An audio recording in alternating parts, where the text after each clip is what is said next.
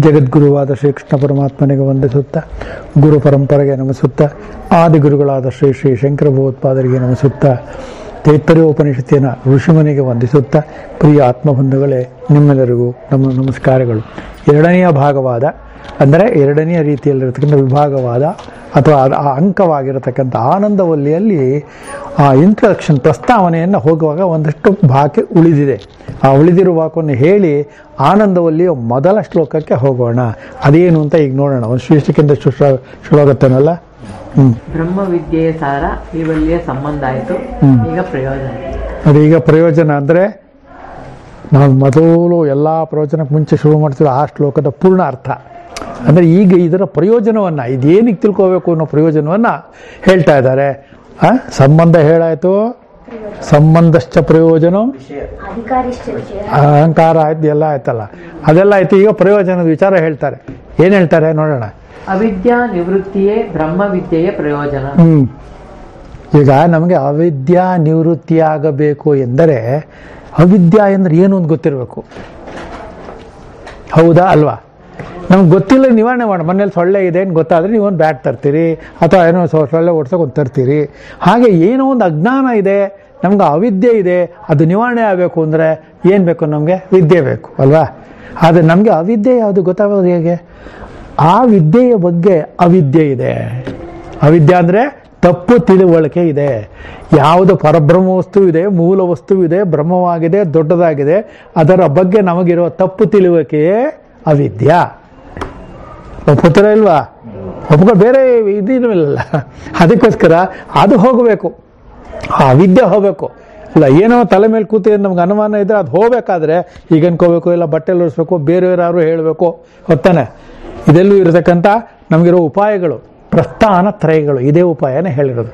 ಪ್ರತಿಯೊಂದು ಪ್ರಸ್ಥಾನದಲ್ಲೂ ಕೂಡ ವೇದ, ಉಪನಿಷತ್ತು ಮಂತ್ರಗಳು, ಧರ್ಮಗಳು, ಯಜ್ಞ ತಪೋಭೂತ ಲವ ಇದೆಲ್ಲವೂ ಕೂಡ ಸಾಧನೆಗಳಾಗಿ ನಿಮ್ಮನ್ನು ಅಲ್ಲಿಗೆ ಎಳ್ಕೊಂಡು ಹೋಗುತ್ತೆ, ಎಳ್ಕೊಂಡು ಹೋಗಬೇಕು. ಇಲ್ಲೇ ಇದ್ದರೆ ಅದೆಲ್ಲವೂ ಅವಿದ್ಯೆಯಾಗಿ ಉಳಿದು ಬಿಡುತ್ತದೆ ಒಪ್ಕೊಂಡ್ರಾ? ಇಲ್ಲ ಅಂದರೆ ಒಂಥರ. ಹೌದು ಅಂದ್ರೆ ಒಂಥರ ಅಲ್ಲ ಸೊ ಹಾಗಾದ್ರೆ ಏನಂತ ಅರ್ಥ ಆಯ್ತು? ಈಗ ನಾವು ಪಡುತ್ತಿರುವ ಪಾಡು ತಳೆದಿರತಕ್ಕಂಥ ಶರೀರ ಮಾಡುತ್ತಿರುವ ಸಂಸಾರ ಸಾಲ ಸೋಳೆಗಳು ಸುಖ ದುಃಖಗಳು ಜನ್ಮ ಸ್ವರ್ಗ ನರಕ ಇದೆಲ್ಲವೂ ಕೂಡ ಅವಿದ್ಯಾನ ವಿದ್ಯಾನ? ಇದೆಲ್ಲ ಹೋಗ್ಬೇಕು. ಹೇಗೆ ಹೋಗುತ್ತೆ? ಹೇಗೆ ಹೋಗುತ್ತೆ? ನಾವು ಚಂದಕ್ಕೆ ತಟ್ಕೊಂಡಿರೋದು ಬಳೆನ ಕೊಡೋದ್ರ ಹೋಗುತ್ತೆ ಇಲ್ಲ ಒಡೆದಾಕಬೇಕು ಅಸಂಗ ಶಸ್ತ್ರೇಣ ದುಡೇನ ಚತ್ವ. ಇದು ಬಹಳ ಕಷ್ಟದ ಕೆಲಸ. ಯಾರಿಗೆ? ಮಾಡೋಕ್ಕಾಗದೇ ಇರೋರಿಗೆ. ಮಾಡೋಕ್ಕಾಗೋರಿಗೆ ಅಂತ ಅರ್ಥ ಏನು? ಕೊಡುಕೊಳ್ಳಬೇಕಲ್ಲ, ಮಾಡಲೇಬೇಕಾಗಿಲ್ಲ.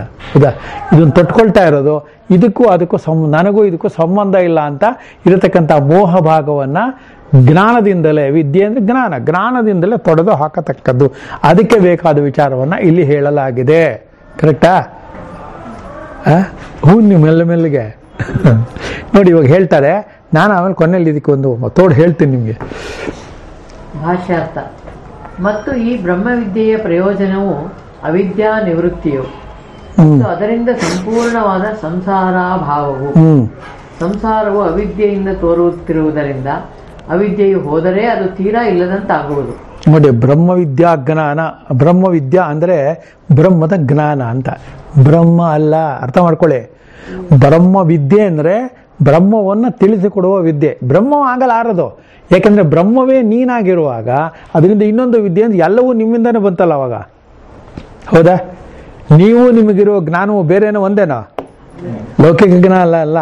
ಜ್ಞಾನ ಅನ್ನೋದು ಹಾಗೆ ತಗೊಳ್ಳಿ ಅದು ತಾವು ಅರ್ಥ ಆಗಿ ಹೌದಾನ ಅದರಿಂದ ಮುಂದೆ ಈ ಲಕ್ಷಣಗಳಿಂದಲೇ ನಿವೃತ್ತಿ ಆಗಬೇಕಾದ ಈ ಅಜ್ಞಾನವನ್ನು ಲಕ್ಷಣಗಳಕ್ಕೆ ಹೋಗುವ ಮುಂಚೆ ಕೆಲವು ಭಾಗಗಳನ್ನು ಹೇಳಲಾಗಿದೆ. ಅದನ್ನು ಅಲ್ಲಲ್ಲಲ್ಲೇ ತೀರ್ಮಾನ ಮಾಡಿ ಮಾಡ್ಕೋಬೇಕು. ಅದಕ್ಕೆ ಮಾಡಬೇಕಾದ ಸಹಾಯವನ್ನು ನಾನು ಮಾಡ್ತೇನೆ. ಅದೇ ಈ ಪುಸ್ತಕನ ನಾವು ಮಾಡುತ್ತೆ, ಗ್ರಂಥ ಮಾಡುತ್ತೆ, ಹೇಳಿ. ಆದ್ದರಿಂದಲೇ ಮುಂದೆ ಶ್ರುತಿಯು ಬ್ರಹ್ಮದ ಆನಂದವನ್ನು ತಿಳಿದವನು. ಇದಕ್ಕೂ ಅಂಜುವುದಿಲ್ಲ ಎಂದು ಹೇಳುವುದು. ಸಂಸಾರಕ್ಕೆ ನಿಮಿತ್ತವಾದ ಅಜ್ಞಾನವು ಇರುತ್ತಿರುವಲ್ಲಿ ಅಂಜಿಕೆ ಇಲ್ಲದ ನಿಲುಗಡೆಯನ್ನು ಹೊಂದುತ್ತಾನೆ ಎಂದು ಮಾಡಿದ ಮತ್ತು ಮಾಡದೇ ಇರುವ ಪಾಪ ಪುಣ್ಯಗಳು ತಪ್ಪಿಸುವುದಿಲ್ಲ ಎಂದು ಮುಂದೆ ಹೇಳಿರುವುದು ಹೊಂದುವ ಹಾಗಿಲ್ಲ. ಸಂಸಾರ ಬೀಜ ಎಂದರೆ ಸಂಸಾರ ನಿಮಿತ್ತವೇ ಎಂದು ಸ್ಪಷ್ಟವಾಗಿ ಇಲ್ಲಿ ಹೇಳಿದಂತಾಯಿತು. ನಿಮಿತ್ತವಿಲ್ಲದೆ ಸಂಸಾರ ಉಂಟಾಗಲಾರದು. ಅಂದ್ರೆ ಅರ್ಥ ಏನು? ಬೀಜವಿಲ್ಲದೆ ಸಂಸಾರ ಉಂಟಾಗಲಾರದು. ಹೊತ್ತಾನೆ ಅಜ್ಞಾನವೇ ಸಂಸಾರಕ್ಕೆ ಕಾರಣ. ಯಾವಾಗ ನಿಮಗೆ ಯಾವುದೋ ಮಾನವ ಜನ್ಮದಲ್ಲಿ, ಯಾವುದೋ ಒಂದು ಮಾನವ ಜನ್ಮದಲ್ಲಿ, ಮಾನವ ಶರೀರದಲ್ಲಿ ಅಜ್ಞಾನ ನಿವೃತ್ತಿಗೆ ಬೇಕಾದ ಜ್ಞಾನವು, ಅಂದರೆ ವಿದ್ಯೆಯು ನಮಗೆ ಸರಿ ತಪ್ಪುಗಳನ್ನು ತಿಳಿಸಿಕೊಡುತ್ತದೆ. ಈ ವಿಂಗಡಿಸಿಕೊಳ್ಳುವುದು ಇದೆಯಲ್ಲ, ಇದು ವಿವೇಕ. ವಿವೇಕ ಬಂದರೆ ನಿಮಗೆ ಇದೆಲ್ಲವೂ. ಸೊ, ಬ್ರಹ್ಮಾನಂದ, ಆನಂದ ಬ್ರಹ್ಮ. ಬ್ರಹ್ಮಾನಂದವೇ ಎತ್ತಿ ತಿಳಿದು ಇದೆಲ್ಲೂ ಇದೆಯಲ್ಲ ಇದೆಲ್ಲೂ ಇದೆ. ಕೊನೆಗೆಲ್ಲನೂ ಬಿಟ್ಬಿಟ್ಟು ಆನಂದ ಅನ್ನುವುದನ್ನು ಮಾತ್ರ ಈ ಒಲೆಯಲ್ಲಿ ಹೇಳಲಾಗಿದೆ. ಯಾಕೆಂದರೆ, ನೋಡಿ, ನೀವೆಲ್ಲೆಲ್ಲ ನೋಡಿದ್ದೀರಿ. ಮೊನ್ನೆ ನೀವೆಲ್ಲ ಹೋದ್ಮೇಲೆ ಇವ್ರು ನನ್ನ ಪ್ರಶ್ನೆ ಕೇಳಿದ್ರು. ಯಾವುದಾದ್ರೂ ಒಂದು ವೃಕ್ಷಕ್ಕೆ ಬಳ್ಳಿ ಹಂಚ್ಕೊಳ್ಳುತ್ತಲ್ಲ, ಆ ವೃಕ್ಷವನ್ನು ಏನು ಹೇಳ್ತೀರಿ ನೀವು? ಬಳ್ಳಿನ ಹೇಳ್ತೀರಿ ಅಂತ. ಆಗ ನಮಗೆ ಇವತ್ತು ನಿಲ್ಸ್ಕೊಂಡಿದ್ದ ಪಾಠನ ಇವ್ರಿಗೆ ಹೇಳ್ಬೇಕಾಯ್ತು ಸ್ವಲ್ಪ. ಈ ಜಗತ್ತಿನಲ್ಲಿ ನೀವೇನೇನು ನೋಡಿದ್ದೀರಿ? ಆಶಾ ಪಾಶ ಶತೈರ್ಬದ್ಧ ಹೌದಾ? ಈ ಪಾಶ ಅನ್ನೋದು ಬಳ್ಳಿ, ಪ್ರೇಮದ ಬಳ್ಳಿ, ಕಾಮದ ಬಳ್ಳಿ, ಮೋಹದ ಬಳ್ಳಿ, ಸ್ನೇಹದ ಬಳ್ಳಿ, ವಂಶಾವಳಿ ಒಳ್ಳಿ ಅಂತಾರ, ಅದು ಒಂದು ಬಳ್ಳಿನೇ, ಹೌದಾ?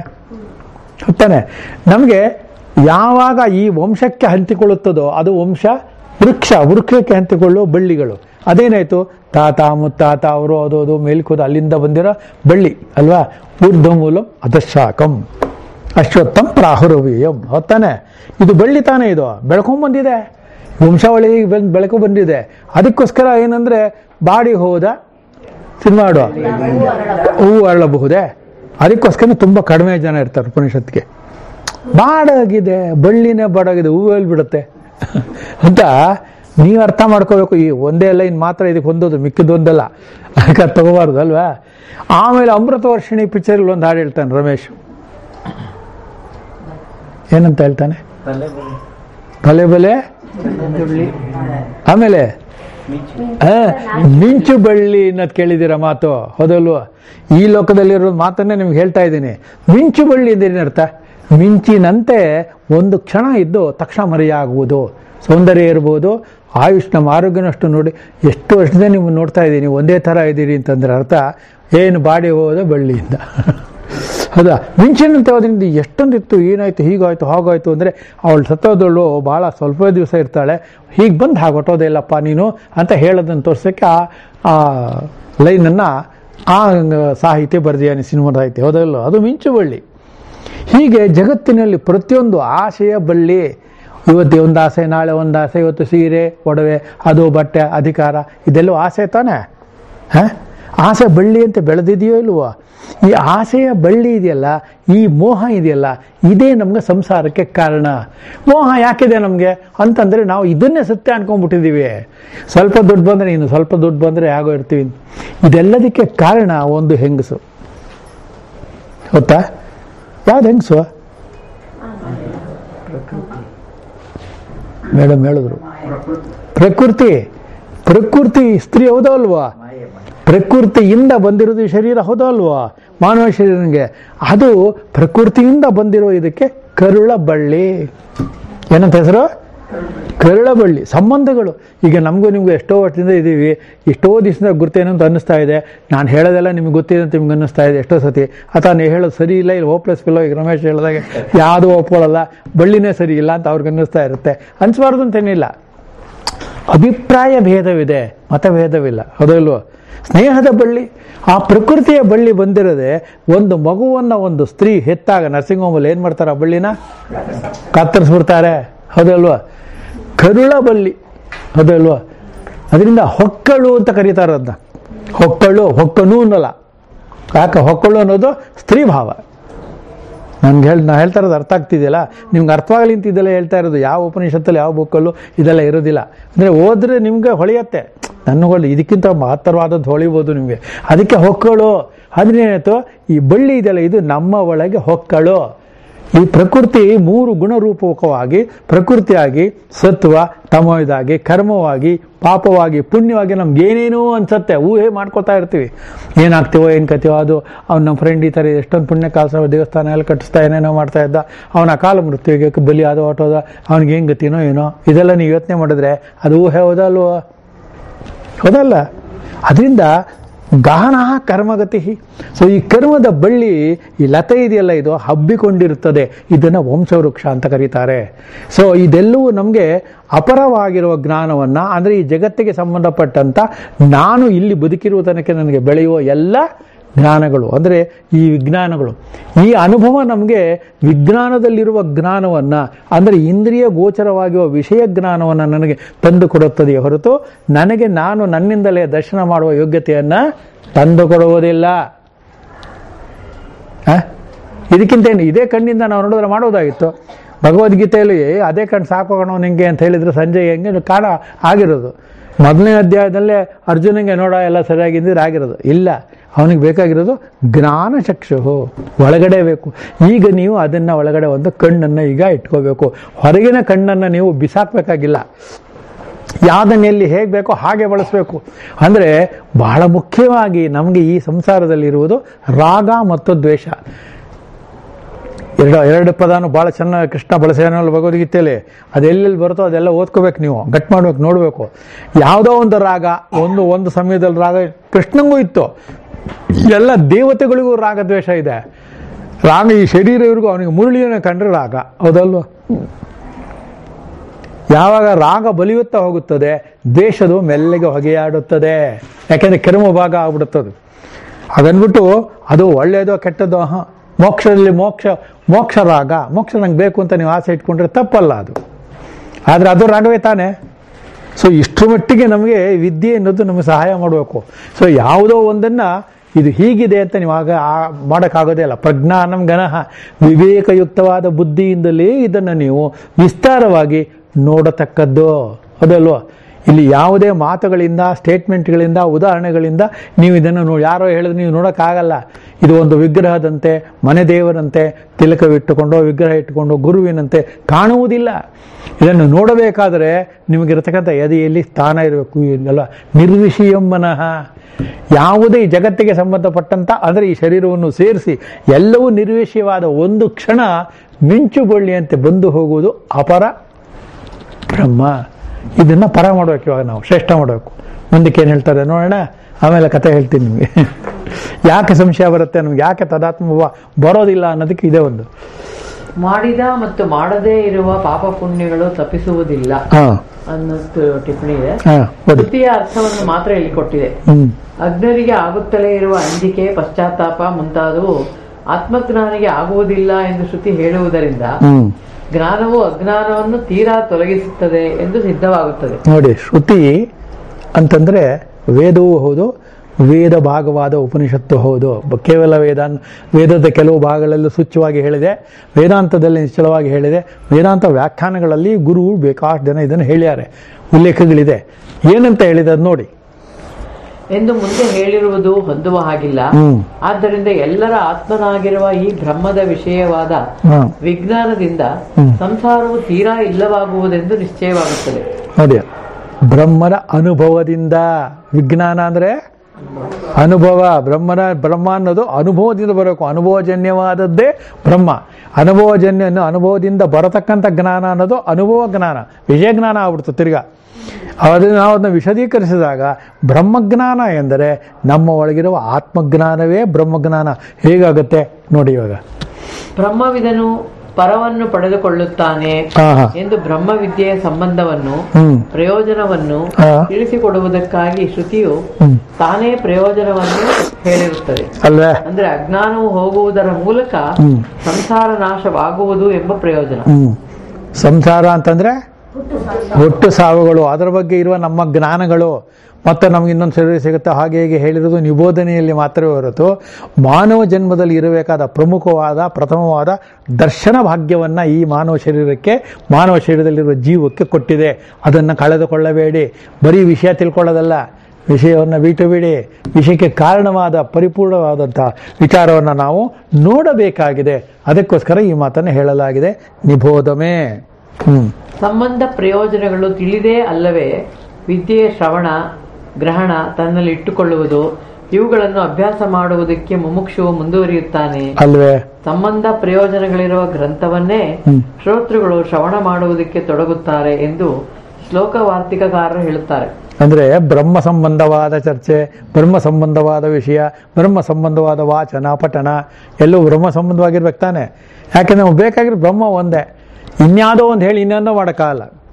ಹೌದಾ? ಕಡಲೆಬೇಳೆ ಅಂತ ತೋರಿಸಿ ಹೆಸರುಬೇಳೆ ಅಂತ ಹೇಳೋಕ್ಕಾಗಲ್ವಲ್ಲ ಅದರಿಂದ ಇದನ್ನು ಇಲ್ಲಿ ತೋರಿಸುವಾಗ ಹೇಳುವಂಥ ವಿಧಾನಗಳೇ ಹೊರತು ನಿಜವಾಗಿಯೂ ಅದು ಅದಾಗಿರುವುದಿಲ್ಲ. ಏಕೆಂದರೆ ಪದಾರ್ಥಗಳನ್ನು ತೋರಿಸಿದಂತೆ ಪರಮಾರ್ಥ ಇರುವುದಿಲ್ಲ. ಕೇವಲ ಜ್ಞಾನ ನಿರ್ಣಯ ಮಾತ್ರ. ಇದಷ್ಟು ಹೇಳಿದ್ದೀನಿ ನಾನು ಎಷ್ಟೊತ್ತಿ ನೋಡಿ. ಶ್ರವಣಾದಿಗಳ ಮೂಲಕವೇ ಅಲ್ಲವೇ ವಿದ್ಯೆ ಎಂಬ ಫಲ ಉಂಟಾಗುವುದು. ಶ್ರವಣಾದಿಗಳೇ ಆತ್ಮಜ್ಞಾನಕ್ಕೆ ನೇರವಾದ ಕಾರಣ ಎಂದು ಶ್ರುತಿಯಲ್ಲಿದೆ ಆತ್ಮಜ್ಞಾನದಿಂದ ಆಗುವ ಪ್ರಯೋಜನವನ್ನು ತಿಳಿದ ಹೊರತು ಶ್ರವಣದಲ್ಲಿ ಯಾರೂ ತೊಡಗಲಾರರು. ಹ್ಮ್. ಶ್ರವಣಕ್ಕೆ ಒಂದು ಮೌಲ್ಯ ಬರಲಿ ಅಂತ ಹೇಳಿದ್ದಾರೆ. ಶ್ರವಣಕ್ಕೊಂದು ಇಲ್ಲಿ ಶ್ರವಣನೇ ಮಾಡ್ತಾ ಇರಲಿ ಯಾರೂ ಅಲ್ವಾ? ಈಗ ನಿಮ್ಗೆಲ್ಲರಿಗೂ ಈ ಪ್ರವಚನ ಎಲ್ಲ ಶುರು ಮಾಡಿ ಯಾರ ಹತ್ರಕ್ಕೆ ಹೋಗಿದ್ರು, ಏನು ಮಾಡಿದ್ರು, ನನ್ನ ಹತ್ರ ಕೇಳಿದ್ರು, ಏನಾದ್ರು ಪುಸ್ತಕ ಏನಾದ್ರು ಓದಿ. ಆದರೆ ಶ್ರವಣ ಅಂದರೆ ಏನು ಅಂತ ನಿಮ್ಗೆ ಗೊತ್ತಿರಬೇಕಲ್ವಾ? ಕಿವಿಯ ಮೇಲೆ ಬಿದ್ದದ್ದೆಲ್ಲವೂ ಹೇಳಿಕೆ ಕೇಳಿಕೆಗಳು ಮಾತ್ರ, ಶ್ರವಣವಾಗಲಾರದು. ಹೌದಾ? ಶ್ರವಣ ಆದಮೇಲೆ ಯಾವುದನ್ನು ಪದೇ ಪದೇ ಕುರಿತು ಮನನ ಮಾಡುವಂತೆ ನಿಮ್ಮನ್ನು ಪ್ರೇರೇಪಿಸುತ್ತದೋ ಅದು ಶ್ರವಣ. ಯಾವುದು ನಿಧಿಧ್ಯಾಸನಲ್ಲಿ ನಿಮ್ಗೆ ಗೊತ್ತಿಲ್ಲದೆ ಕುಳಿತು ಬಿಡುತ್ತದೋ ಅದು ಮನನ. ಮನನ ಆದಮೇಲೂ ಅದಿರುತ್ತೆ ಬೇಡ ಅಂದ್ರೆ ಸುಮ್ಮನೆ ಯಾವ್ಯಾವ ಸಮಯದಲ್ಲಿ ಬರ್ತಾ ಇರುತ್ತೆ. ಅದು ನಿಧಿಧ್ಯಾಸನ.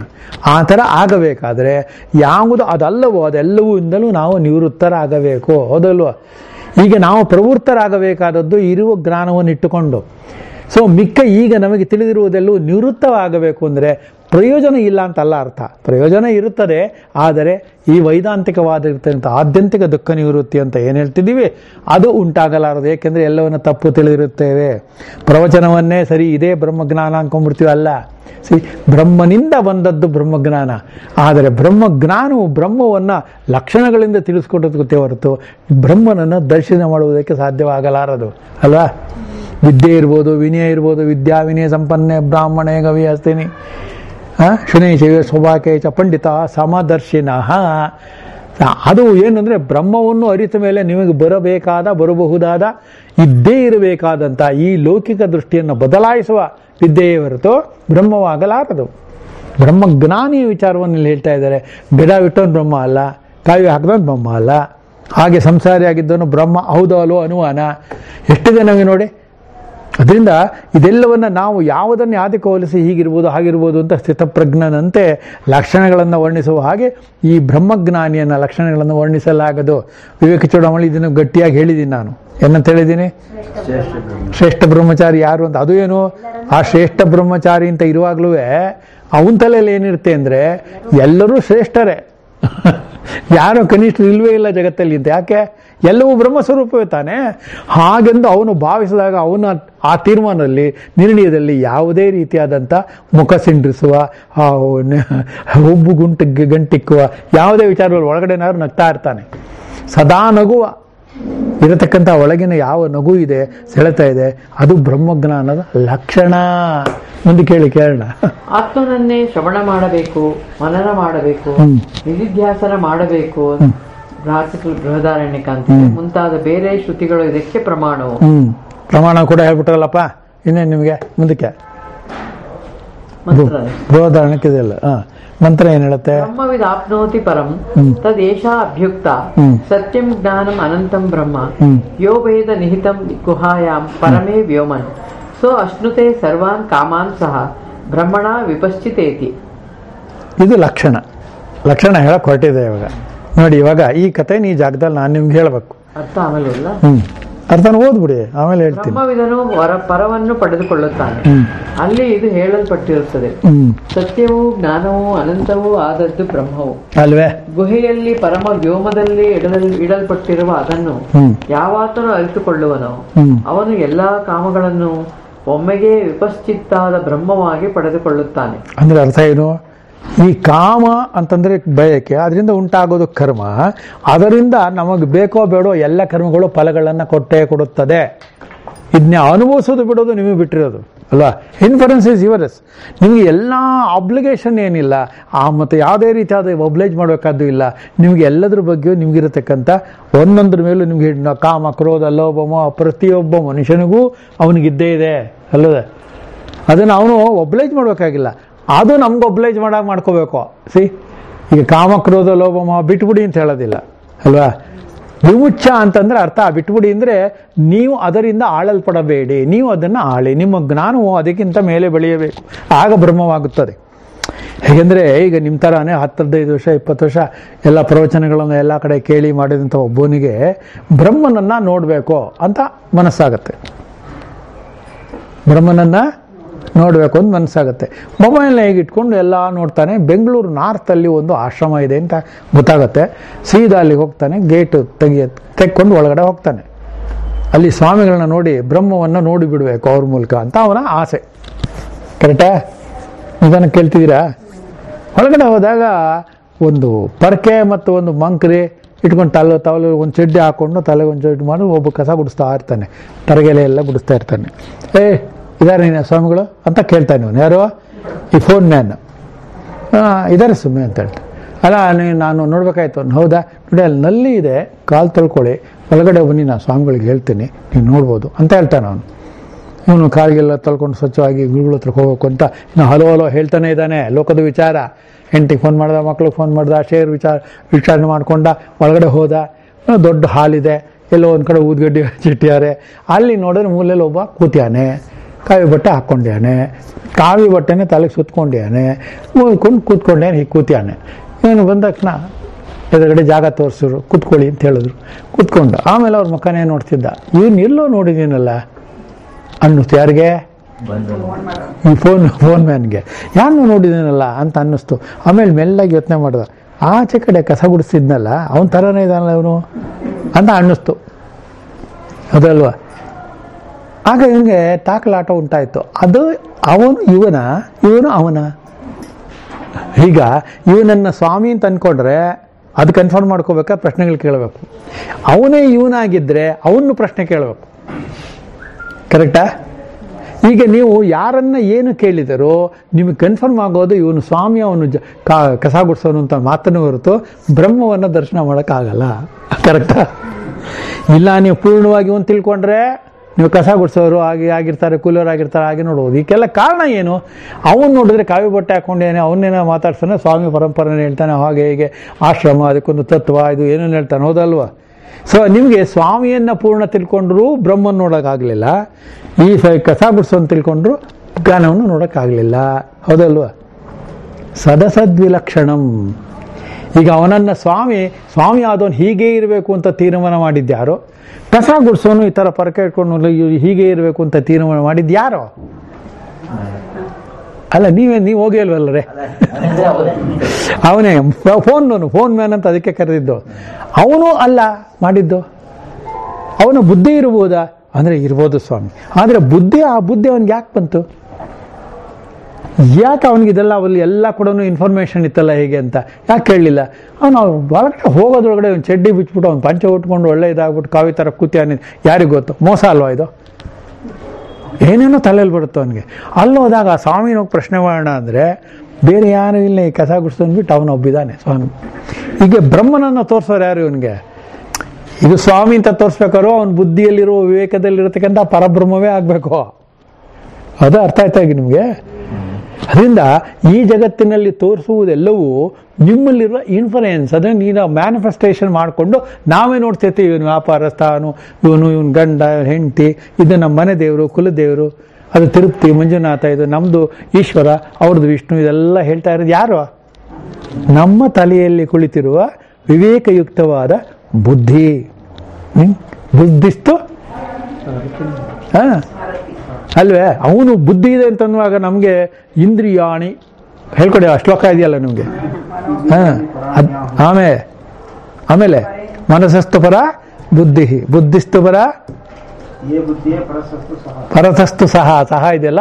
ಅದು ಅದನ್ನು ಇರ್ತಕ್ಕಂಥ ವಿವೇಕಯುಕ್ತವಾದ ಬುದ್ಧಿ ಇದೆಯಲ್ಲ? ಅದು ಪರಬ್ರಹ್ಮವಸ್ತು ಅಂದರೆ ಅರ್ಥ ಇವನಿಗೆ ತನ್ನೊಳಗಡೆಯೇ ಇರುವ ನನ್ನದೇ ಆತ್ಮವಾಗಿರುವ ಈ ಇರ್ತಕ್ಕಂಥ ಈ ವಿಶುದ್ಧ ತತ್ವದಲ್ಲಿ ತತ್ವ ಇದೆಯಲ್ಲ, ಇದು ಅವನನ್ನು ಸ್ವಾಮಿ ಅಂತ ಹೇಳ್ತಾ ಇದೆ, ಇವನನ್ನು ಕಸ ಗುಡಿಸೋನು ಅಂತ ಹೇಳ್ತಾ ಇದೆ. ಕಸ ಗುಡಿಸೋನು ಅನ್ನೋದಕ್ಕೂ ಕೂಡ ಹೇಳೋದು, ಇದೆಲ್ಲವೂ ನಮಗೆ ಕಾಣತಕ್ಕಂಥದ್ದು ಜ್ಞಾನದಲ್ಲಿಯೇ ಹೊರತು ಮೂಲದಲ್ಲಿ ನನ್ನ ಒಳಗಡೆ ಇರ್ತಕ್ಕಂಥ ಬ್ರಹ್ಮವೇ ಅವನನ್ನು ಸನ್ಯಾಸಿ ಅಂತ ಹೇಳ್ತಾ ಇರೋದು, ಇವನನ್ನು ಅಂತ ಯಾರು ಹೇಳಬೇಕು? ಯಾರು ಹೇಳಬೇಕು ಇದನ್ನು? ಇದು ತಿಳಿಸ್ಕೊಡೋದು ಯಾರು? ತೋರಿಸ್ಕೊಡೋದು ಯಾರು?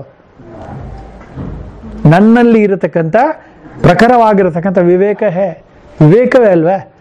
ಸೊ ಇದು ನಮ್ಗೆ ಗೊತ್ತು ನಮ್ಗೆ ಗೊತ್ತಾಗ ಕರೆಕ್ಟಾಗಿ ರಾಗ ದ್ವೇಷ ಇದ್ದಾಗ ನಮಗೆ ಅಸಕ್ತ ಬುದ್ಧಿ ಸರ್ವತ್ರ ಅಂತ ನೀವು ನೋಡ್ತಾ ಇದ್ದೀರಾ? ಅಸಕ್ತ ಬುದ್ಧಿ.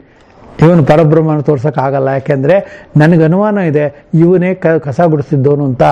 ಕಸ ಗುಡಿಸೋನು ನೋಡೋಣ ಅಂದರೆ ಇವನೇ ಸನ್ಯಾಸಿ ಇರ್ಬೋದು ಅಂತಲೂ ಅನುಮಾನ ಇದೆ ನಮಗೆ, ಹೌದಾ? ಇವರಲ್ಲಿ ಯಾರನ್ನ ಕೇಳಿದರೆ ನನಗೆ ಬೇಕಾದ ಬ್ರಹ್ಮ ದರ್ಶನ ಆಗುತ್ತದೆ. ಅಂತ ನೀವು ಯೋಚನೆ ಮಾಡಿದಾಗ ಅವನ್ನೂ ಕೇಳಬೇಕಾಗಿಲ್ಲ, ಇವನ್ನೂ ಕೇಳಬೇಕಾಗಿಲ್ಲ. ಯಾಕೆ? ಈ ಎರಡಕ್ಕೂ ವಿಲಕ್ಷಣವಾದದ್ದು ಒಂದಿದೆ, ಅದೇ ನನ್ನ ಆತ್ಮವಾಗಿದೆ ಅಂತ ನಿಮಗೆ ಯಾವತ್ತು ಹೊಳೆಯುತ್ತದೆಯೋ ಅದು ಪರಬ್ರಹ್ಮ ವಸ್ತು. ಅರ್ಥ ಆಯ್ತಾ? ಶಂಕರಾಚಾರ್ಯಿಂದ ಹಿಡಿದು ನನ್ನವರೆಗೂ ನಿಮ್ಗೆ ಏನೇನಿದೆ ಇದೆಲ್ಲ ಹೇಳ್ತಾ ಇದ್ದಾರೆ. ಎಲ್ಲವೂ ಅವರವರ ಅನುಭವವನ್ನು ನಿಮ್ಗೆ ಯಾವುದೇ ವಾಕ್ಯದಲ್ಲಿ ಹೇಳಿದರೂ, ಯಾವುದೇ ಇಷ್ಟೇ ವಿಶುದ್ಧವಾಗಿದ್ದರೂ ಅದು ನಿಮಗೆ ಇನ್ಫಾರ್ಮೇಷನ್ ಆಗುತ್ತೆ ಇನ್ಸ್ಪಿರೇಷನ್ ಆಗೋದಿಲ್ಲ. ಅದಕ್ಕೂ ಕೂಡ ನಿಮ್ಮ ಒಳಗಡೆ ಇರತಕ್ಕಂಥದ್ದು ದರ್ಶನ ಭಾಗ್ಯ ಇದ್ದವರಿಗೆ ಮಾತ್ರ. ಅಂದರೆ ಇದು ಇಷ್ಟೇ ಅಲ್ಲವೇ ಇನ್ನೇನು ಇಲ್ಲ ಅಂತ ನಿಮ್ಗೆ ಗೊತ್ತಾದಾಗ ಹೊರಗಿನ ಎಲ್ಲ ವಿಚಾರವನ್ನು ಮಾನ್ಯ ಮಾಡುತ್ತೀರಿ. ಎಲ್ಲವನ್ನು ಗೌರವಿಸುತ್ತೀರಿ, ಎಲ್ಲವನ್ನು ಪ್ರೀತಿಸುತ್ತೀರಿ. ಏಕೆ? ಅವನು ಅದಾಗುವುದಕ್ಕೂ ಅದಕ್ಕೆ ಅದೇ ಕಾರಣ. ಹೌದಲ್ವ?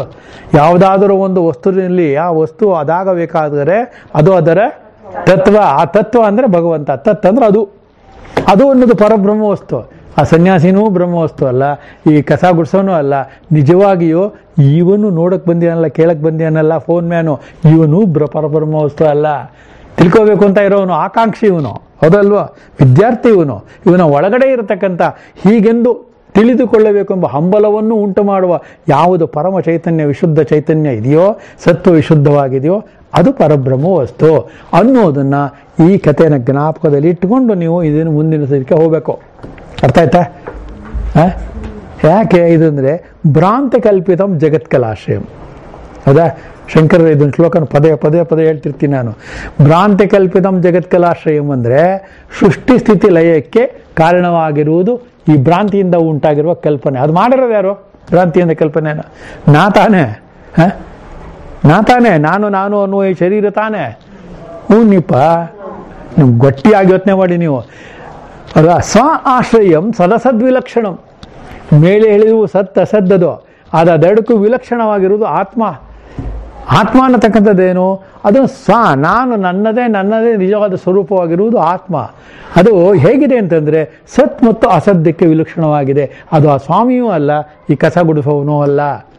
ಹಾಗಾದರೆ ಎರಡನ್ನೂ ಬೆಳಗುತ್ತಾ ಇರತಕ್ಕಂಥ, ಯಾವುದು ನಿಷ್ಕಾಮವಾಗಿರತಕ್ಕಂಥದ್ದು, ಅದಕ್ಕೆ ನಿಷ್ಕಾಮ ಧರ್ಮ ಕಾರುಣ್ಯ ಹೊಂದಿದೆ ಅದರಿಂದ ನಮಗೆ ನಿಷ್ಕಾಮವಾಗಿದೆಯೋ, ಕಾಮಯುಕ್ತವಾಗಿರತಕ್ಕಂಥದ್ದಾಗಿದೆಯೋ, ಅದನ್ನು ನಮ್ಗೆ ಗೊತ್ತಾಗಬೇಕಲ್ಲ. ಅಸಕ್ತ ಬುದ್ಧಿ ಸರ್ವತ್ರ, ಜಿತಾತ್ಮ ವಿಗತಸ್ಪೃಹ. ನಿಷ್ಕಮ ಸಿದ್ಧಿ ಪರಮಾಂ ಸನ್ಯಾಸೇನಾಧಿಗಚ್ಚತಿ ನೋಡಿ, ಈ ಸಿದ್ಧಿ ಇದೆಯಲ್ಲ, ಇದು ಪ್ರಾಪ್ತಿಯೇ ಯಥಾ ಬ್ರಹ್ಮ. ಬ್ರಹ್ಮ ಅಂದ್ರೆ ಅದೇ, ಈ ಸಿದ್ಧಿನೇ ಬ್ರಹ್ಮ. ನೋಡಿ? ತಥಾಪ್ನೋದು ನಿಬೋಧಮೆ. ನಿಬೋಧನೆಯೂ ಅದೇ ಆಗುತ್ತೆ. ಬೋಧನೆಯಿಂದ ಹೇಳೋದು ಅದೇನೆ. ಆ ಬ್ರಹ್ಮ ಅಂದ್ರೂ ಅದೇನೆ. ಸಿದ್ಧಿ ಅಂದ್ರೂ ಅದೇನೆ ನಿಷ್ಕೈರ್ಮುಖ ನೈಷ್ಕರ್ಮ ಸಿದ್ಧಿ ಅಂದ್ರೂ ಅದೇನೆ.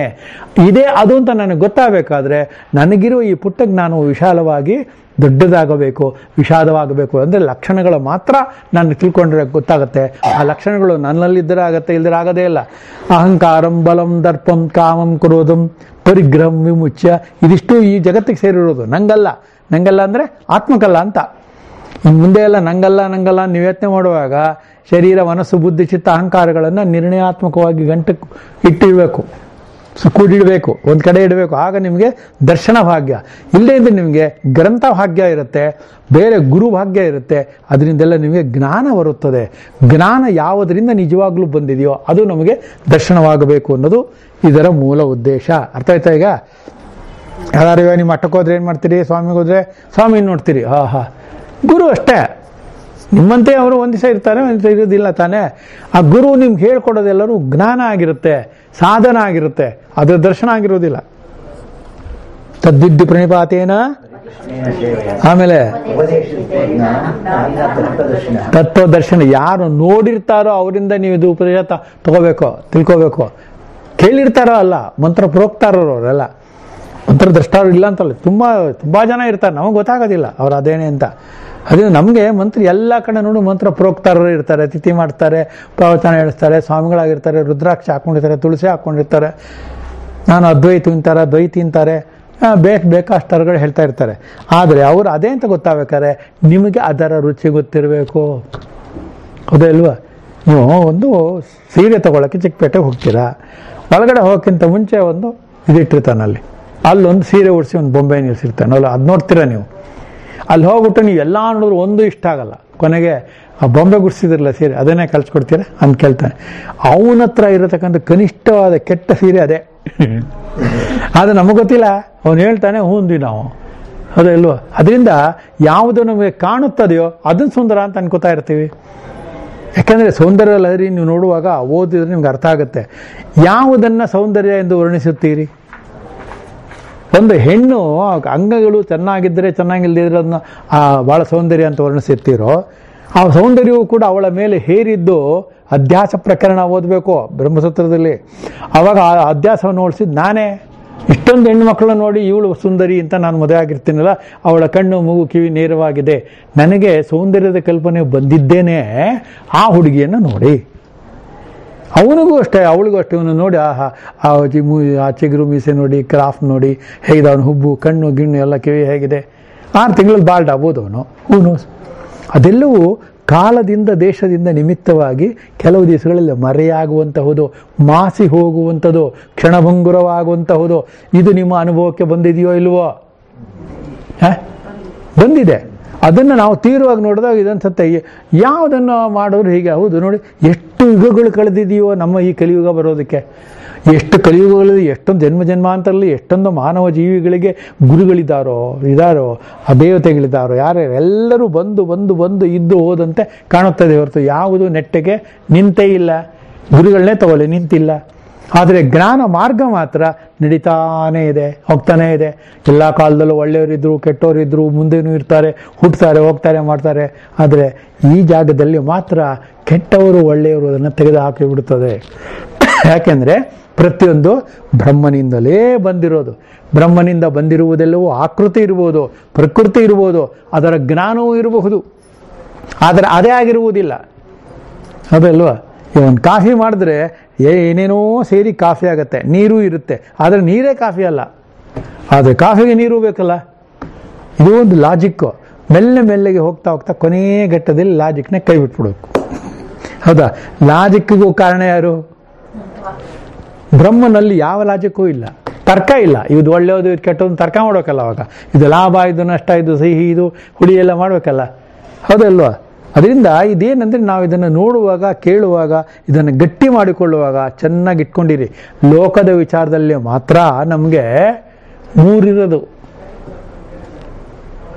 ಇಷ್ಟ, ಅನಿಷ್ಟ, ಮಿಶ್ರಂಚ, ತ್ರಿವಿಧ, ಕರ್ಮಫಲ.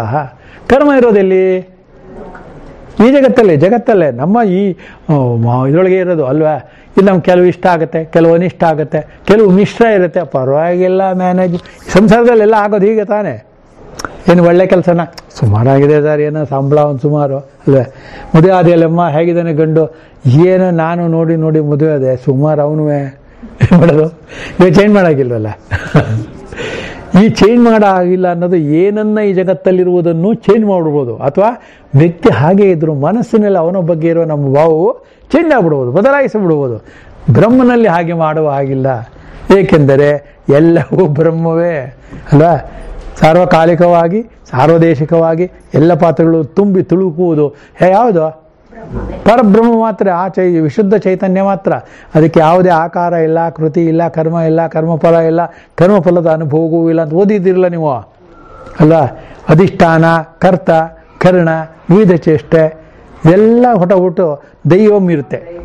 ಆ ದೈವಂ ಅನ್ನೋದು ಕೂಡ ಭಗವಂತನ ಬೇರೆ ಬೇರೆ ದೇವತೆಗಳಿಂದ ಪ್ರಕಟವಾಗುವ ದೈವ ಶಕ್ತಿಯೇ ಹೊರತು ದೈವವೂ ಆಗಲಾರದು ಭಾಳ ಒಂಥರ ನಿರ್ಣಯ ಮಾಡ್ಕೊಂಡು ಹೋಗ್ಬೇಕು. ಈಗ ಈ ಅರ್ಥಕ್ಕೆ ಲಕ್ಷಣಗಳನ್ನು ಏನು ಹೇಳ್ತಾರೆ ಕೇಳೋಣ. ಕಥೆನ ಮಾತ್ರ ಕೊನೆಯವರೆಗೂ ಮತ್ತು ಮುಂದಿನ ಎಲ್ಲರಿಗೂ ನಾನು ಹೇಳಿದ್ನೆಲ್ಲ ಆಶ್ರಮಕ್ಕೆ ಹೋಗೋದು ಮೊಬೈಲ್ ಮ್ಯಾನ್ ಆ ಮೊಬೈಲ್ ಮ್ಯಾನೇ ನಾವು. ಹುಡುಕ್ತಾ ಇರೋದು ನಾವೇನೆ.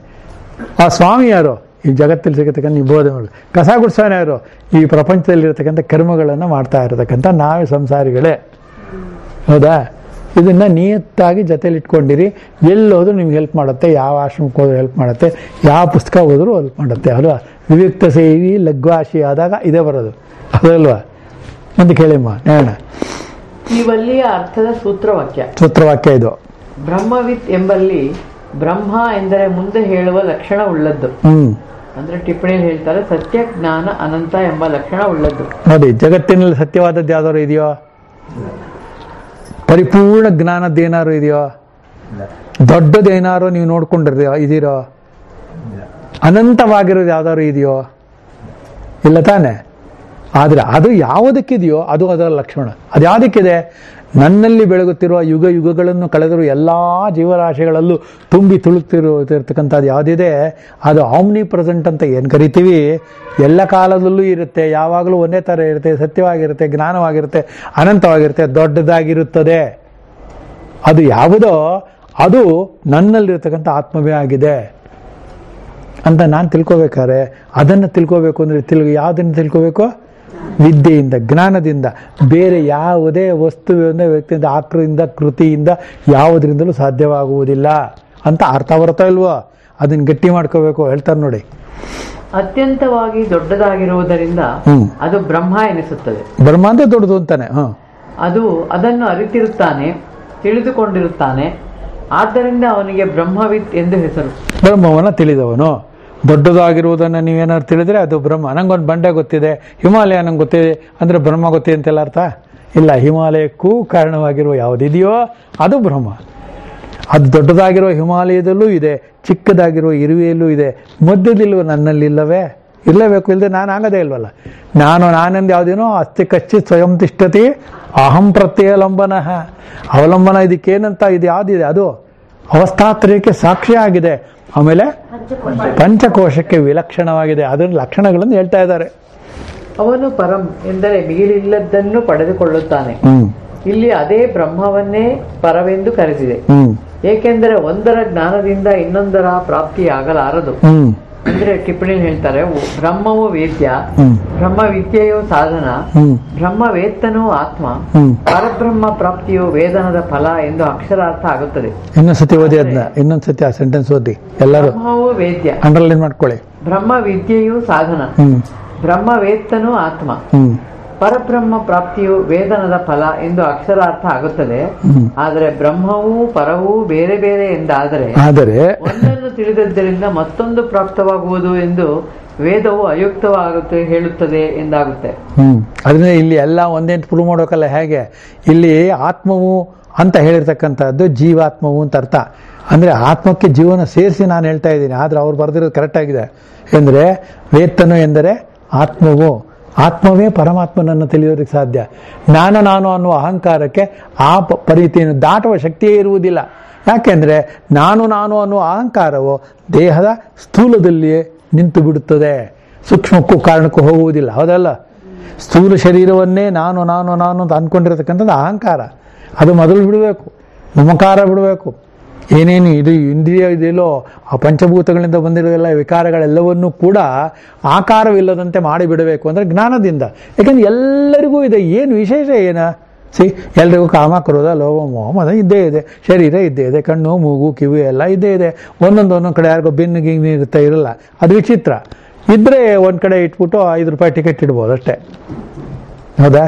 ಅದರಿಂದ ಮನುಷ್ಯನಿಗೆ ಕಾಮನ್ ಫ್ಯಾಕ್ಟರ್ ಅನ್ನೋದು ಅವಾಂಗ್ ಇದರೊಳಗೆ ಇರುತ್ತೆ ಹೊರತು. ಆದರೆ it is uncommon thing is one which you do not know that is ಪರಬ್ರಹ್ಮ ವಸ್ತು.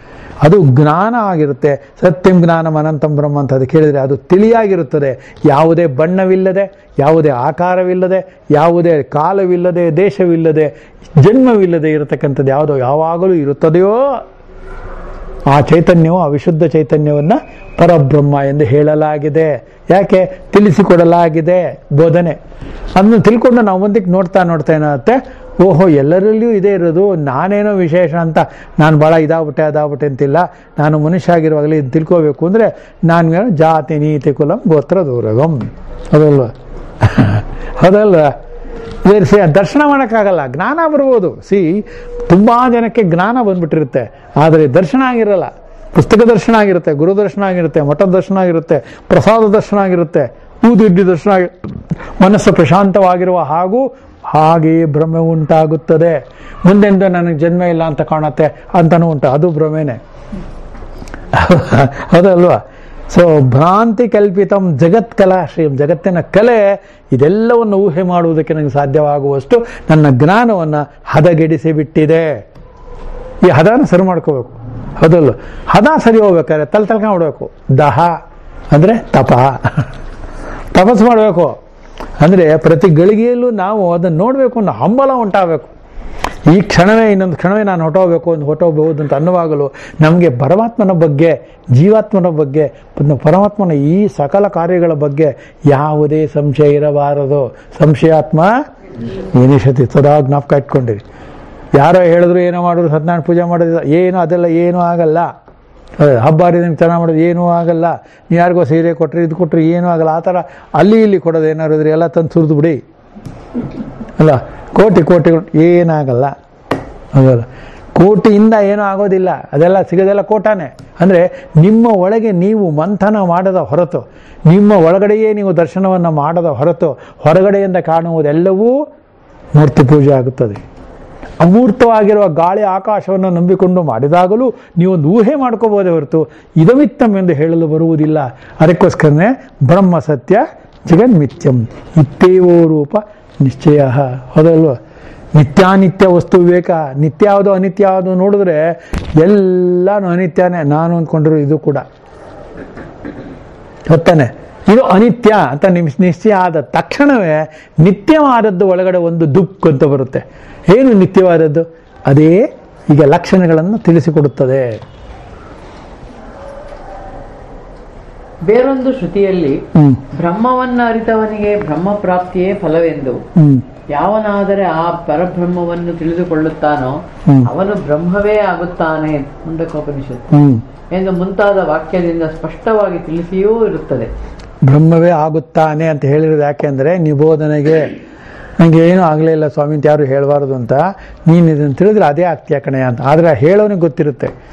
ನೀನು ತಿಳಿದರೂ ತಿಳಿಯದೇ ಇದ್ದರೂ ನೀನು ಅದೇ ಆಗಿರುತ್ತೆಯೇ. ಸ್ವಾಮಿಯನ್ನು ಬ್ರಹ್ಮ ಆಗ- ಆಗಲ್ಲ ಗುಡಿಸೋನು ಬ್ರಹ್ಮ ಆಗಲಕ್ಕಂತ ಇವನು ಹೊಳಿಬೇಕೇ ಹೊರತು. ನಾನೇ ಬ್ರಹ್ಮ ಅಂತ ಸ್ವಾಮಿ ಹೇಳಾಗಿಲ್ಲ. ಆ ಸ್ವಾಮಿ ಇದಾನಲ್ಲ, ಅವನು ನಾನೇ ಅಂತ ಇವನು ಹೇಳಾಗಿಲ್ಲ. ಹೇಳಿದ್ರು ಇವನಿಗೆ ಅನುಮಾನ ಮಾತ್ರ ಇದ್ದೇ ಇರುತ್ತದೆ. ಸೊ ಅದರಿಂದ ಅನುಮಾನದಿಂದ ಗುರುತಿಸುವಂತಹುದಲ್ಲ ಬ್ರಹ್ಮ. It should be very natural ಕೋಪ ಬಂದ ಹಾಗೆ, ನಗು ಬಂದ ಹಾಗೆ ಈ ಜಗತ್ತನ್ನು ನೋಡಿದಾಗ ಎಲ್ಲದಕ್ಕೂ ಒಂದೊಂದು ಕಾಲದೇಶ ಇದೆ ಅಂತ ನಿಶ್ಚಯವಾದ ಹಾಗೆ ಪರಬ್ರಹ್ಮನನ್ನು ನೀವು ನಿಶ್ಚಲವಾಗಿ ವಿತೌಟ್ ಎನಿಥಿಂಗ್ ಸಹಜವಾಗಿ very naturally you must see yourself without mirror without your eye ನಿಮ್ಮ ಕಣ್ಣಿಂದ ನೀವೇ ನೋಡಿಕೊಳ್ಳುವುದು ಅನ್ನೋದು ಜ್ಞಾನ ಚಕ್ಷು. ಇದನ್ನ ಬಹಳ ಪರಿಪೂರ್ಣವಾಗಿ ಪರ್ಫೆಕ್ಟ್ ಆಗಿ ಭಗವದ್ಗೀತೆಯಲ್ಲಿ ಕೃಷ್ಣ ಪರಮಾತ್ಮ ಬೋಧನೆ ಮಾಡಿದ್ದಾನೆ. ಅದಲ್ವಾ? ಉನ್ನೆ ಪದೇ ಪದೇ ಪದೇ ಓದ್ತಾ ಇರಿ ಅದನ್ನ. ಬ್ರಹ್ಮದ ಪ್ರಾಪ್ತಿ ಎಂಬುದು ಗೌಣ. ಹ್ಮ್ ನೋಡಿ. ಬ್ರಹ್ಮದ ಪ್ರಾಪ್ತಿ ಎಂಬುದು ಗೌಣ. ಏನಾರು ಅರ್ಥ ಹೇಳ್ತೀರಾ ಇದಕ್ಕೆ ಯಾರು ನಾವೇ ಬ್ರಹ್ಮ ಆಗ್ಬೇಕಾದ್ರೆ ಪ್ರಾಪ್ತಿ ಆಗಿರೋದೇನಿದೆ ಅಲ್ಲ ಬ್ರಹ್ಮದ ಪ್ರಾಪ್ತಿ ಅಂತ ಅನ್ನೋದು ಇನ್ನೊಂದು ನನ್ನಿಂದ ಬೇರೆ ಆಗಬೇಕಾಗಿದೆ ಎಂಬ ಭಾವವು ಗೌಣ.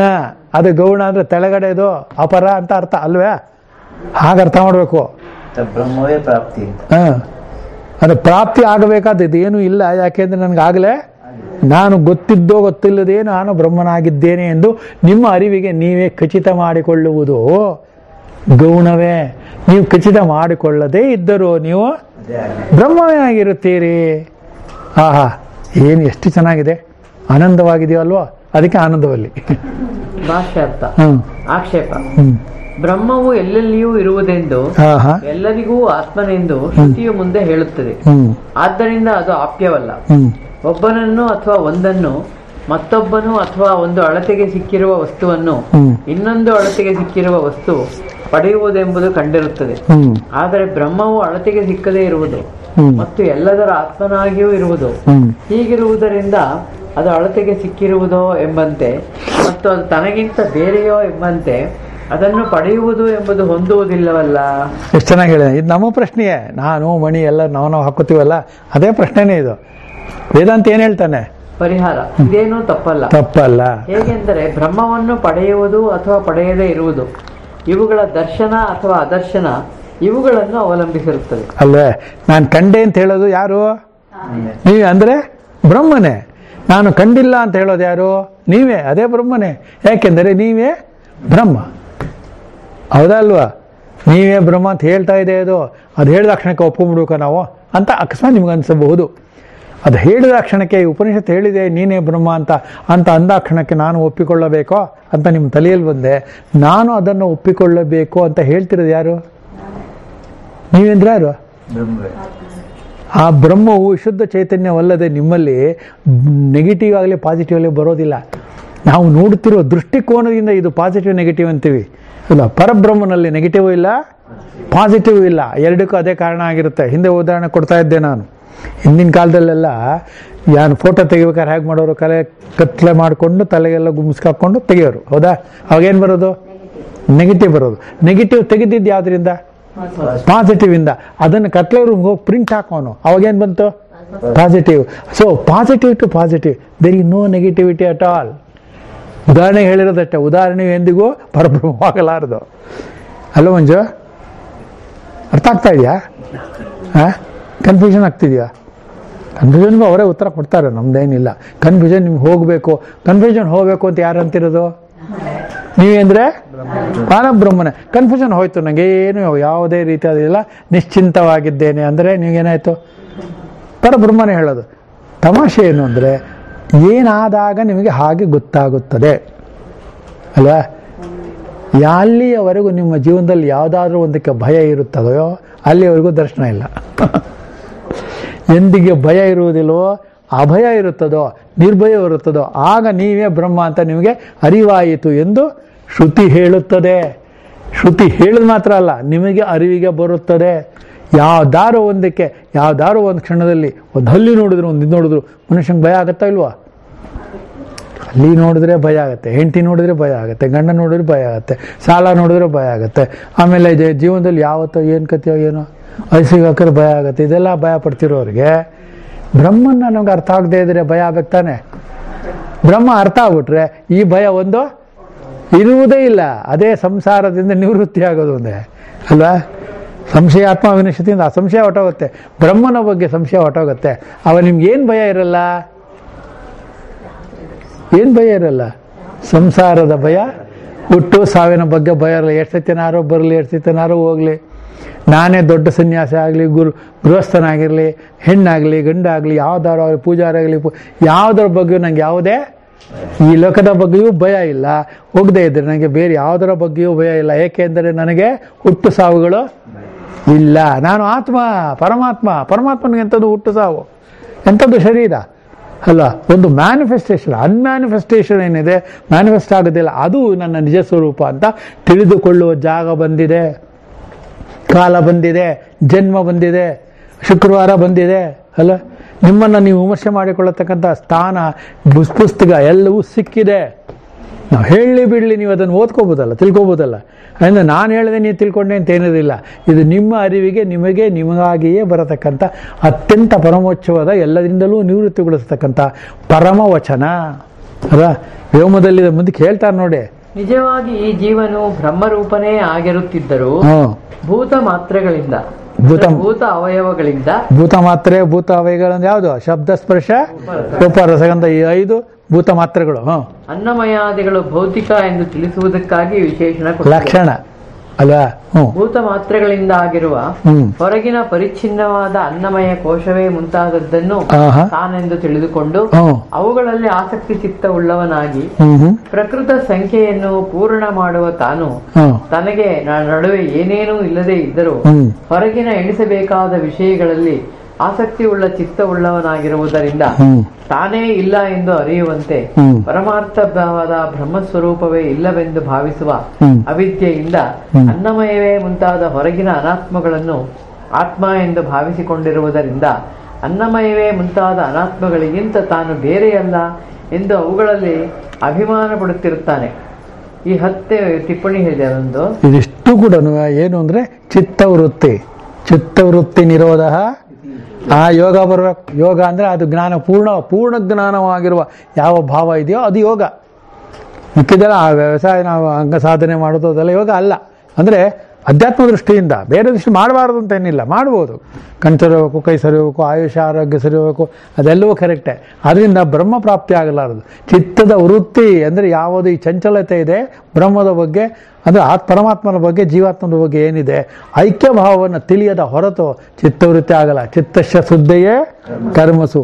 ಚಿತ್ತನ ನಿವೃತ್ತಿ ಆಗಿರಬೇಕಾದದ್ದೇ ಚಿತ್ತದಲ್ಲಿ ಮಾಡಬೇಕಾದ ಕರ್ಮ ಅಂತ ಹೇಳ್ಕೊಟ್ಟಿದ್ದಾರೆ. ಈ ಭಾಗ ಅದೇನೆ. ಅದಕ್ಕೆ ಅಷ್ಟು ಉದ್ದ ಹೇಳಿರೋರು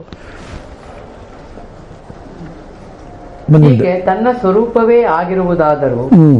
ಬ್ರಹ್ಮವು ಅವಿದ್ಯೆಯಿಂದ ಪಡೆಯಲ್ಪಡ ಪಡೆಯಲ್ಪಡದ್ದಾಗುವುದು.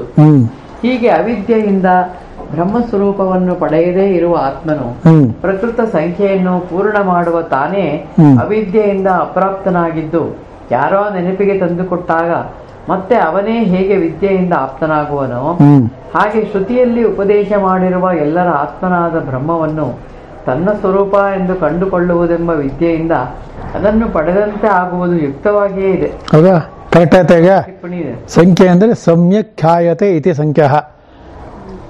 ಸಂಖ್ಯಾ ಅಂತಂದ್ರೆ ಬುದ್ಧಿ ವಿವೇಕ. ವಿವೇಕ ಬುದ್ಧಿಗೆ ಸಂಖ್ಯಾ ಅಂತ ಇರ್ತದೆ. ಸಾಂಖ್ಯಶಾಸ್ತ್ರ ಎರಡನೇ ಅಧ್ಯಾಯ ಇದೆಯಲ್ಲ ಅದು ಓದ್ಕೊಳ್ಳಿ ಪೂರ್ತಿ. ಸಾಂಖ್ಯ ಅಂದ್ರೆ ಅದು ಅರ್ಥ. ಯುದ್ಧ ಅಂತನೂ ಅರ್ಥ ಇದೆ. ಅಂದರೆ ನಮ್ಮ ಒಳಗಡೆ ಬೇಕು ಬೇಡಗಳ ಮಧ್ಯೆ ಯುದ್ಧ ಆಗುತ್ತಲ್ಲ ಅದಕ್ಕೂ ಸಾಂಖ್ಯ ಅಂತ ಹೆಸರು. ಸಾಂಖ್ಯ ಅಂತ ಸಂಖ್ಯೆ ಅಂದರೆ ಬುದ್ಧಿ ಯೋಗ ಸಾಂಖ್ಯ ಯೋಗ ಅಂದರೆ ಬುದ್ಧಿ ಯೋಗ ಅಂದರೆ ವಿವೇಕ ಯೋಗ. ಅಷ್ಟೇ. ಅದು ಅವ್ರು ಹೇಳ್ತಾ ಇರೋದು. ವಿವೇಕದಿಂದ ನೀವು ಮಾಡಿದಾಗ ಇದ್ಯಾವುದು ಸಂಶಯಗಳು ಉಳಿಯುವುದಿಲ್ಲ ತಲೆಯಲ್ಲಿ? ಉಳಿದಂತೆ ಕಂಡರು ಆಖ್ಯಾನ ಅಂದರೆ ಈ ವ್ಯಾಖ್ಯಾನ ಮಾಡೋದ್ರಿಂದ ಆಖ್ಯಾನ ಮಾಡೋದ್ರಿಂದ ಗ್ರಂಥಗಳಿರುವುದರಿಂದ ಗುರು ಪರಂಪರೆ ಇರುವುದರಿಂದ ನಮಗೆ ಇದನ್ನದು ತಿಳಿಸಿಕೊಡುತ್ತದೆ ತಿಳಿಸಿಕೊಡುತ್ತಾರೆ. ಮುಂದಕ್ಕೆ ಟಿಪ್ಪಣಿ ಇದೆ ನೋಡಿ. ಹತ್ತು ಜನ ದಾರಿ ಹೋಕರು ನದಿಯನ್ನು ದಾಟಿದ ಬಳಿಕ ತಾವೆಲ್ಲರೂ ಈಚೆಯ ದಡಕ್ಕೆ ಬಂದೆವೋ ಇಲ್ಲವೋ ಎಂದು ನೋಡುವುದಕ್ಕೆ ಹೊರಟು ಒಬ್ಬೊಬ್ಬನು ತನ್ನನ್ನು ಬಿಟ್ಟು ಮಿಕ್ಕವರನ್ನೇ ಎಣಿಸುತ್ತಾ ಬಂದಿದ್ದರಿಂದ ಹತ್ತನೆಯವನೊಬ್ಬನು ನದಿಯಲ್ಲಿ ಮುಳುಗಿ ಹೋಗಿರಬೇಕೆಂದು ಭಾವಿಸಿಕೊಂಡು ದುಃಖ ಪಡುತ್ತಿದ್ರಂತೆ ಆಗ ಅಲ್ಲಿಗೆ ಬಂದ ಒಬ್ಬ ವಿವೇಕಿಯು ನೀನೇ ಹತ್ತನೆಯವನು ಎಂದು ಅವರಲ್ಲಿ ಎಲ್ಲರಿಗೂ ತಿಳಿಸಿ ಅವರ ಮೂಢತನವನ್ನು ತೊಲಗಿಸಿದನಂತೆ. ಶ್ರುತಿವಾಕ್ಯದಿಂದ ಆಗುವ ಬ್ರಹ್ಮಾತ್ಮತ್ವ ಪ್ರಾಪ್ತಿಯು ಇಂಥದ್ದೇ ಎಂದು ಭಾವ. ಈ ಹತ್ತು ಜನರಲ್ಲಿ ನೀವು ಯಾರು? ಪ್ರಯತ್ನ ಮಾಡ್ಕೊಳ್ಳಿ. ಹತ್ತು ಜನರಲ್ಲಿ ಯಾರು ನೀವು? ಈ ಸಂಸಾರ ಎಂಬ ಹೊಳೆಯನ್ನು ದಾಟಬೇಕಪ್ಪ. ದಾಟ್ತಾ ಇದ್ದೀರಿ, ಜನ ಇದೆ. ಈ ಹತ್ತು ಜನದ ಕತೆ ಹೇಳಿದ್ರಲ್ಲ ಇವರು, ಈ ಹತ್ತು ಜನರ ಪೈಕಿ ಯಾರು ನೀವು? ಯಾರೂ ಅಲ್ಲ. ಇವರಿಗೆ ನೀವು ಅದಲ್ಲ ಅಂತ ಹೇಳಿಕೊಟ್ಟ ಹತ್ತನೇ ವಿವೇಕಿ ಬಂದಿದ್ನಲ್ಲ ಒಬ್ಬ, ಅವನು ನೀವು. ಅಲ್ವೇ? ಅದು ಆ ಥರ ನೀವು ಮಾಡ್ತಾ ತಿಳ್ಕೊಬೇಕು. ಹತ್ತಿರದಲ್ಲಿ ನಾವು ಯಾರು ಒಬ್ರು ಅಂತ ಯೋಚನೆ ಮಾಡಿದ್ರೆ ನಿಮಗೆ ಬಂಧನವೂ ಹೋಗಲ್ಲ ಮೋಕ್ಷವೂ ಸಿಗಲ್ಲ ಪರಮಾತ್ಮ ಪ್ರಾಪ್ತಿಯೂ ಆಗೋದಿಲ್ಲ, ಅಲ್ವಾ? ಅದರಿಂದ ವಿವೇಕಿ ನೀವು ನೀವು ವಿವೇಕಿ. ಕೇವಲ ಬುದ್ಧಿ ಇರುವವರಲ್ಲ, ಬುದ್ಧಿ ವಿವೇಕ ಇರುವವರು, ಸಾಂಖ್ಯರು. ಅದರಿಂದ ಬುದ್ಧಿ ಯೋಗವೇ ವಿವೇಕ. ಬುದ್ಧಿ ಯೋಗ ಏನು? ವಿವೇಕ. ಅದ ವಿವೇಕ ಯೋಗವನ್ನು ಯೋಗ ಅಂತ ಕರೀತಾರೆ. ಯೋಗ ಅಂದರೆ ಪ್ರಾಪ್ತಿ. ಹೌದಲ್ವಾ? ಯೋಗ ಅಂದ್ರೇನು ಪ್ರಾಪ್ತಿ. ಪ್ರ, ಇದನ್ನು ಮಾನವ ಜನ್ಮದಲ್ಲಿ ಮಾಡಿಕೊಳ್ಳಲೇಬೇಕಾದ ಯೋಗ ಭಾವ ಸೊ ಯೋಗ ಅನ್ನೋದು ಕರ್ಮ ಅಲ್ಲ. ಯೋಗ ಅನ್ನೋದು ಮಾಡ್ತಾ ಇರೋವರೆಗೂ ಕರ್ಮ. ನಿಂತು ಎಲ್ಲ ಫಲಶ್ರುತಿ ಬರುವ ಟೈಮಿಗೆ ಯೋಗವು ಪ್ರಾಪ್ತಿಯಾಗಬೇಕು ಬ್ರಹ್ಮವೇ ಆಗುತ್ತೆ. ಬ್ರಹ್ಮಯೋಗ ಏನಿಲ್ಲ. ಬ್ರಹ್ಮವೇ ಯೋಗ, ಯೋಗವೇ ಬ್ರಹ್ಮ. ಸಿ, ಅದಕ್ಕೋಸ್ಕರ ಕೃಷ್ಣನ್ ಏನಂತ ಕರಿತೀವಿ? ಎತ್ತರ ಯೋಗೇಶ್ವರ ಕೃಷ್ಣ. ಯೋಗಿನಲ್ಲ, ಯೋಗ ಅಂತೀವಿ. ಮಾಡ್ತಾ ಇರೋವರೆಗೂ ಈಶ್ವರ ಭಾವ. ಅಂದರೆ ಎಲ್ಲ ಈ ಜಗತ್ತಿನಲ್ಲಿ ನಾವೆಲ್ಲ ಮಾಡ್ತಾ ಇದ್ದೀವಿ. ಎಲ್ಲವನ್ನ ಕ್ಲೀನ್ ಮಾಡ್ಕೊಂಡು ಹೋಗ್ತಾ ಇದ್ದೀವಿ. ಅದರಿಂದ ಆ ಭಾವ ನೋಡ್ತಾ ನೋಡ್ತಾ ನೋಡ್ತಾ ಕೊನೆಗೆ ನಮಗೆ ಇದು ಸಿಗುತ್ತದೆ. ಇರುವಾಗ ನೀವು ಕಾಮ, ಕ್ರೋಧ, ಲೋಭ, ಮೋಹ, ಮದ ಹೆಸರ ಎಲ್ಲ ಹೊಟ್ಟಬಿಡುತ್ತಾ ಹೋಗಲ್ಲ. ಅದ್ರ ಪಾಡಿಗೆ ಅದು ಇದ್ದೇ ಇರುತ್ತದೆ. ಅಂದರೆ ಅದಾವುದು ನಿಮ್ಮನ್ನು ಆಳಲಾಗುವುದಿಲ್ಲ. ಚಿಕ್ಕದಾಗಿರುವ ಈ ಶರೀರದಲ್ಲಿ, ಈ ಶರೀರ ಬಿದ್ದು ಹೋಗುವ ತನಕ ಇದರಲ್ಲಿ ಯಾವುದಾದ್ರೂ ಒಂದು ನಮ್ಮನ್ನು ಕಾಡುತ್ತದೆ, ಅಥವಾ ಎಲ್ಲವೂ ಸೇರಿ ನಮ್ಮನ್ನು ಕಾಡುತ್ತದೆ. ಏನು ಸಂಕೋಚ ಇಲ್ಲ ಏನು ಮಾಡಾಗಿಲ್ಲ. ಆದರೆ ಅದನ್ನು ನೀವು ಆಳಬೇಕು. ಅದು ನಿಮ್ಮನ್ನು ಆಳಬಾರದು. ನೀವು ಅದಕ್ಕೆ ಹಾಳಾಗಬಾರದು ನೀವು ಅದನ್ನು ಅರಸಾಗಬೇಕು. ಅದನ್ನು ಆಳುತ್ತಿರಬೇಕು. ಸೊ ಇಂದ್ರಿಯಗಳಿಂದ ಬರತಕ್ಕಂಥ ಶಬ್ದ ಸ್ಪರ್ಶ ರೂಪರಸಗಂಧಗಳನ್ನು ನೀವು ಆಳಬೇಕು. ನೀವು ಬೆನ್ ನೀವು ಬೇಕಾದಾಗ ಅದನ್ನು ಪ್ರಯೋಗ ಮಾಡೋ ಆಗಿರಬೇಕು ಎಷ್ಟು ಬೇಕೋ ಅಷ್ಟು ಮಾಡೋ ಆಗಿರಬೇಕು ಅದೇ ನಿಮಗೆ ಇಲ್ಲಿ ಅನುಬಂಧ ಉಂಟು ಮಾಡೋದು. ಅನುಬಂಧ ಚತುಷ್ಟಯದ ಪ್ರಯೋಜನವೆಲ್ಲ ಅಲ್ಲೇ ಇರೋದು. ನೋಡಿ. ಸೂತ್ರವಾಕ್ಯದ ವಿವರಣೆಯ ರುಕ್ಕು ಏತಕ್ಕೆ? ಹ್ಮ್. ಭಾಷ್ಯಾರ್ಥ ಹ್ಮ್. ಆ ಶುಕ್ಲ ಶ್ಲೋಕ ಯಾಕೆ ಬಂದಿದೆ ಹೇಳಿಪ್ಪ. ಬ್ರಹ್ಮವಿದ ಆಪ್ನೋತಿ ಪರಂ. ಹ್ಮ್. ಬ್ರಹ್ಮವಿದನು ಪರವನ್ನು ಪಡೆದುಕೊಳ್ಳುತ್ತಾನೆ ಎಂಬ ವಾಕ್ಯವು ಈ ವಲ್ಲಿಯ ಅರ್ಥಕ್ಕೆಲ್ಲ ಸೂತ್ರವಾಗಿರುತ್ತದೆ. ಈ ವಲ್ಲಿಗೆ ಬ್ರಹ್ಮವಲ್ಲಿ ಆನಂದವಲ್ಲಿ ಬ್ರಹ್ಮಾನಂದವಲ್ಲಿ ಎಂದು ಬೇರೆ ಬೇರೆ ಹೆಸರುಗಳಿವೆ. ಭಾಷ್ಯಾನುಸಾರವಾಗಿ ನಾವು ಆನಂದವಲ್ಲಿ ಎಂದೇ ಕರೆದಿರುತ್ತೇವೆ. ಅಲ್ವೇ? ಇದು ಆನಂದ ಮಾರ್ಗ. ಆನಂದವನ್ನು ತೋರಿಸಿಕೊಡತಕ್ಕಂಥ ಚಾಪ್ಟರ್ ಅಧ್ಯಾಯ. ಇದು ಅಂಕ. ಇರತಕ್ಕಂಥ ಈ ವಿಚಾರಗಳನ್ನು ಇಲ್ಲಿ ಇದರಲ್ಲಿ ತಿಳಿಸ, ಆನಂದವನ್ನೇ ಪ್ರಧಾನವಾಗಿ ಈ ಅಧ್ಯಾಯದಲ್ಲಿ ತಿಳಿಸಿಕೊಡಲಾಗಿದೆ. ಆನಂದವೇ ಅಂದ್ರೆ ಏನರ್ಥ? ನಿಮ್ಮ ಸ್ವರೂಪವೇ. ಸತ್ ಚಿತ್ತಾನಂದ ಸಚ್ಚಿದಾನಂದ. ಯಾರು ಸಚ್ಚಿದಾನಂದ? ಸಚ್ಚಿದಾನಂದ ಸ್ವರೂಪಾಯ. ವಿಶ್ವೋತ್ಪತ್ಯಾದಿ ಹೇತವೇ ತಾಪತ್ರೆ ವಿನಿತಾಯ ಶ್ರೀಕೃಷ್ಣಾಯ ವಯಂ ನಮಃ ಅದೇ ನೀವು ಕಣಪ್ಪ ಅಂತ ಹೇಳ್ತಾ ಇದೆ ಇದು ಮಂತ್ರ. ಮುಂದಕ್ಕೆ ಬ್ರಹ್ಮವಿದನು ಪರವನ್ನು ಪಡೆದುಕೊಳ್ಳುತ್ತಾನೆ ಎಂಬಿ ವಾಕ್ಯದಿಂದ ಅರಿತುಕೊಳ್ಳಬೇಕೆಂದು ಸೂತ್ರದಲ್ಲಿ ಹೇಳಿರುವ ಬ್ರಹ್ಮದ ಸ್ವರೂಪವು ಇಂಥದ್ದು ಎಂದು ಗೊತ್ತಾಗಿ ಹೇಳದೇ ಇರುವುದರಿಂದ ಅದಕ್ಕೆ ಮತ್ತೆಲ್ಲದಕ್ಕಿಂತಲೂ ಬೇರೆಯಾಗಿರುವ ಗೊತ್ತಾದ ಸ್ವರೂಪವನ್ನು ತಿಳಿಸಿಕೊಡುವ ಲಕ್ಷಣವನ್ನು ಹೇಳಿ ಅದರ ಸ್ವರೂಪವನ್ನು ಗೊತ್ತುಪಡಿಸುವುದಕ್ಕಾಗಿಯೂ ಬ್ರಹ್ಮವನ್ನು ಅರಿತುಕೊಳ್ಳಬೇಕೆಂದು ಸಾಮಾನ್ಯವಾಗಿ ಹೇಳಿರುವ, ಮುಂದೆ ಹೇಳುವ ಲಕ್ಷಣದ ಬ್ರಹ್ಮವನ್ನು ವಿಶೇಷವಾಗಿ ಎಂದರೆ ನಮ್ಮೊಳಗಿನ ಆತ್ಮನೇ ನಮಗಿಂತ ಬೇರೆಯಲ್ಲ ಎಂದು ಅರಿತುಕೊಳ್ಳಬೇಕೆಂದು ತಿಳಿಸುವುದಕ್ಕಾಗಿಯೂ ಮತ್ತು ಬ್ರಹ್ಮವಿದ್ಯೆಯ ಫಲವು ಬ್ರಹ್ಮಜ್ಞಾನಿಗೆ ಆಗುವ ಪರಬ್ರಹ್ಮ ಪ್ರಾಪ್ತಿ ರೂಪವೆಂದು ಯಾವುದನ್ನು ಹೇಳಲಾಯಿತೋ, ಆ ಸರ್ವಾತ್ಮ ಭಾವ ಎಂಬುದು ಯಾವ ಸಂಸಾರ ಧರ್ಮವೂ ಇಲ್ಲದ ಬ್ರಹ್ಮಸ್ವರೂಪವನ್ನು ಪಡೆದುಕೊಳ್ಳುವುದೇ ಹೊರತು